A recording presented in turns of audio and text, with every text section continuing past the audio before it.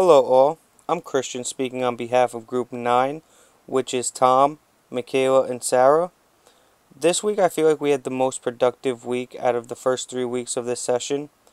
Uh, the reason for that is during class we were able to break out towards the end of class and actually talk about our um, problems that we had as a group and we were able to listen to what other groups did which really helped them out and uh, we were able to take some from them take from some from us and put them together so we can actually have a more cohesive group and get work done uh, in a faster pace the two issues that we had as a group was that we didn't communicate uh, very well in our group messaging um, messages would go unanswered and sometimes unread.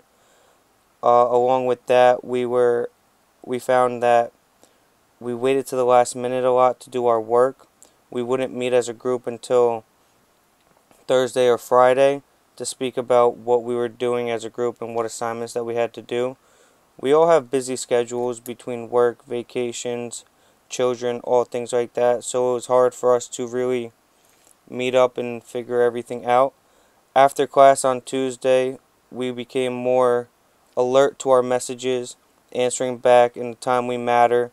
Also, we met the following day on Wednesday to talk about our facilitator guide um, and who's doing each part of the project, along with the video and um, the PowerPoint.